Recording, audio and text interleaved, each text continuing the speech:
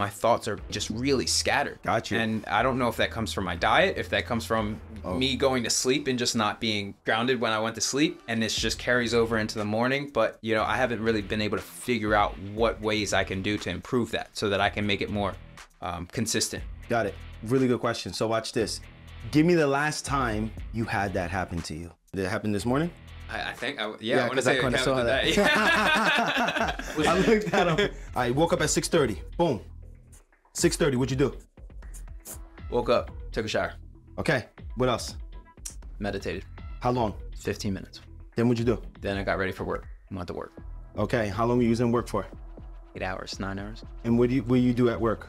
Uh, I customer service, so I'm talking to customers and dealing, delegating uh, traffic. Got you. What do you look forward to when you're doing the eight hours? Getting off and going to the gym. And then what? and then going home and meditating or reading. Okay, there you go. So there's no solution to the loop that you're in right now, right? So for an example, if you wake up at 6:30, if I wake up at 6:30 and I'm gonna be doing customer service, is that what you want to do for the rest of your life? No. All right then. So if I'm waking up going to 6:30 and I'm going to do um, work for customer service too, especially with people, some people, customer service is a very challenging job, right? And I don't have a plan like, yo, I'm out of here in three months. Yo, I'm out of here in two months. I, where are we going, right? So the more we get clear on what we want in life, the more anytime we don't want to do something, we're like, yo, we have something to look forward to. Let's just say, right now, I say you can do anything in the world, and this is your North Star here. What is that North Star? Self-employment, Okay, how much? Five, four, three, two, one. 300,000. Okay, so now we're not clear, right? We just threw some shit out, like 300,000. What's the most you've ever made in your life? Uh, 60,000. Okay, so 60K. Yeah. For 300K, what are you going to do to earn that 300K? Build a business, What kind of business? ad man- management. So if you want to do ad management, right? So let's just say ad management, which you can do, which is amazing. What are you doing with ad management? What are you selling? Or what service are you selling? Managing ads for others. And what's your pitch to another business? So pitch me. You got a business with ads. Whoa, I'm not that far into it. so so th- that's good though because this is why bro if we're waking up meditating but we don't have time to actually get clear of like all right let me get clear how much money i need okay let me get clear of what i'm gonna do for a living how am i'm gonna get to the 120 then the 300 i i gotta learn on how do people get business how do you, you got me? So when I'm driving in the car now, I'm listening to like a podcast about it. The thing about the human brain, especially when you come from trauma, right, mm-hmm. or a struggle past, is that we think something's wrong with us. You know what I'm saying? Like we'll sit there and be like, bro, I should have been doing something. I'm not, bro. You're 25 years old.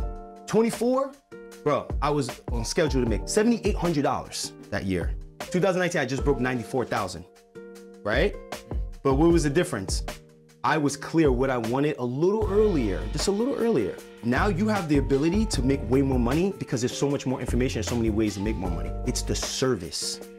It's the service you're gonna render for the money. The amount of money that you have in your pocket is all based off the amount of service you, you provide in the world. You wanna make more money? Provide more service. A video that changed my life about money and about clarity is a video by Bob Proctor. I graduated from college December 15, 2016 is our graduation.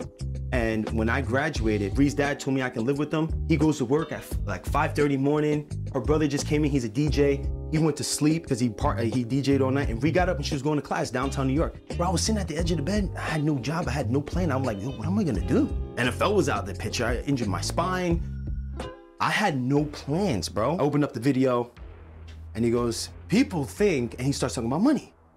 And he goes, You can become a millionaire. The average millionaire has seven streams of income. So as I'm going through the exercise and, and you know, in, in, in uh, this uh, Starbucks, I'm looking around. I'm like, yo, people think I'm probably doing like a pyramid scheme kind of thing over here. After like three minutes, I was being triggered because he was trying to make it sound easy, and that triggered me. Right? I grew up homeless. I grew up poor.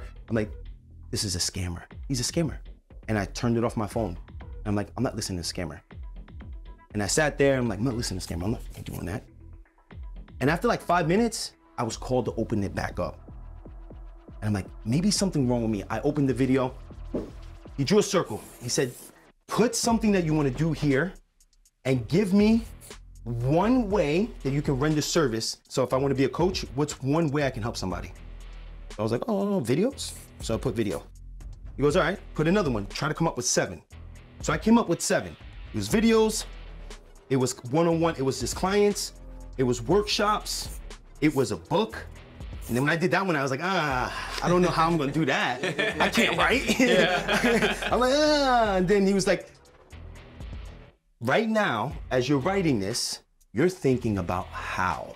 And you was about to stop. I was like, oh, he's watching me. But that's what happens when you coach this so much, you know what someone's gonna feel exactly when they're gonna feel it. And I kept going. So I had the workshops, I had retreats. That was one thing I was like, maybe I can do retreats one day. I had sponsorships, I had ad revenue, right? So I filled this thing up here. The first thing that happens is that when people do that, they just stress about how. Because I'm trying to think about how to get from level one here to here. How do I get from level one to level 10 today? That's dangerous. Why do you think that's dangerous if you do do that? It's discouraging. It's a lot of work. Yeah, pressure, but also people that get here never mastered this step or this step or this step. Yeah. This is why you'll see people who blew up overnight on a song or blew up in Hollywood or actually won the lottery overnight. They use it when they lose this, they lose everything Yeah. because they didn't master the process. You see, I was rushing the process because I was scared. I had fear. And then I was like, oh, I gotta slow down. The, the first thing I gotta do, I gotta get a certification. That's the first thing I gotta do. I'm over here thinking about how I can write a book and how I can make money. Hold on, let me get a certification. How much is a certification? Look it up. How much is a certification? The one I, I got was like 2,000. I'm like, it's 2,000. I don't got 2,000. Oh, they got a payment plan, $97 a month. Okay. All right, so if I get a certification, how do I get clients? Well, maybe videos. Okay. Well, what do I need? I need a laptop to edit videos. How much is a laptop? I need a good laptop. 2000. Well, I just brought this new Infiniti car for 5000. My brother needs a car. He only has 2000. But you know what? What's worth it? That 2000 I can get right now or the car that's going to sit on New York streets? Yes, I just got it. But I think 2000 is more important. Went to New Jersey. It's on YouTube. It's called Invest in Yourself on Love Across Hudson. I went to Jersey. My brother was happy. He was getting a car for 2000. We was in a car. I'm like, here. He said, what are you gonna do with the money? I said, I'm gonna buy a laptop.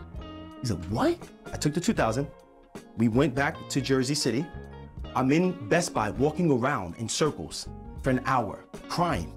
I'm like, I'm gonna do this, I'm gonna do this, I'm gonna do this. No, you can't do this, you can't do this. And then this dude was like, yo, I'm like, yo.